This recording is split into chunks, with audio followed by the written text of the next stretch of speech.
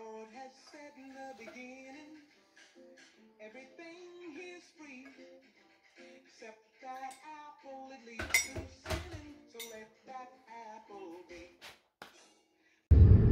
Good morning. You join me on my route to work uh, with my uh, breakfast of choice, inspired by Genesis 3, which is the focus of chapter 5 of this book by Alistair Chalmers Roadmap to Jesus, which we're going through, which is why I'm driving.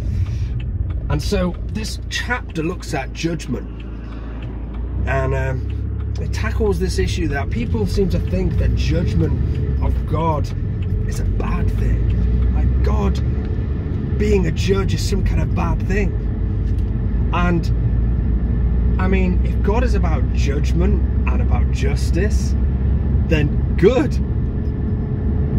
Because we all know after the fall, Christian or not, that the world is not how it's supposed to be. Life is hard, bad things happen, things go wrong, people do wrong.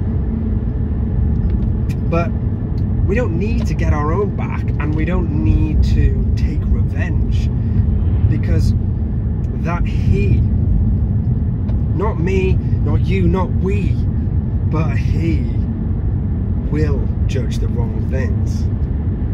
In Ecclesiastes 12 14 it says, He will bring every deed into judgment, including every hidden thing, whether good or evil.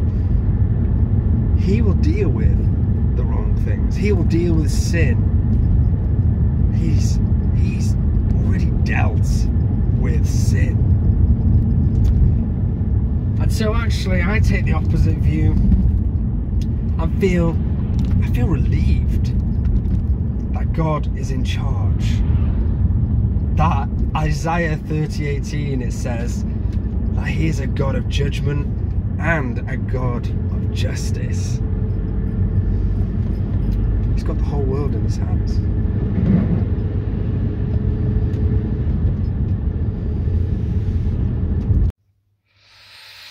Well, here I am on my lunch break, and I'm fully aware there is a serpent behind me. The judgment of God fell on the serpent, fell on Satan. And Genesis 3:14 says, "You will crawl on your belly, bow down on your belly all of your days, and you will eat dust." the same dust that God used to create life. God of judgment and justice. Satan tried to get them to eat, so now he has to eat from the dust all the days and bow down all the days of his life.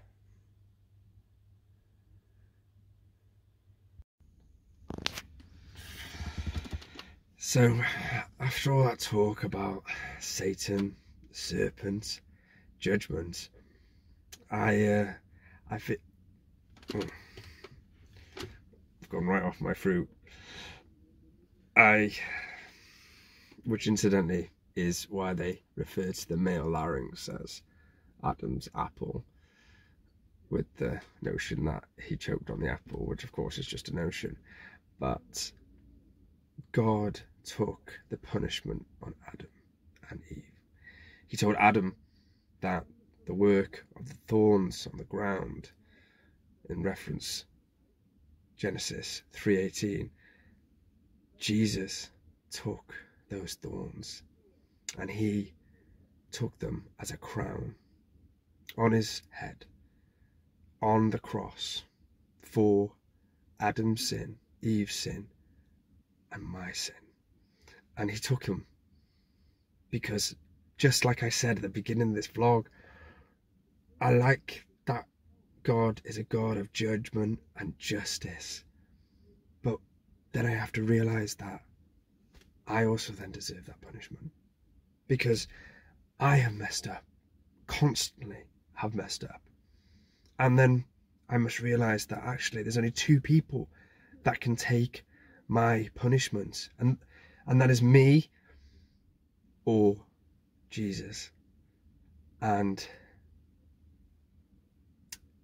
for those that believe in him, Jesus is the way, the truth, and the life. He took the sin and shame of us all and took it to the cross. But it gets better because he didn't just die there. Three days later, he rose there. He rose and he conquered the grave. He conquered death. God brought life into Adam. He breathed life into Adam. He breathed life into Jesus.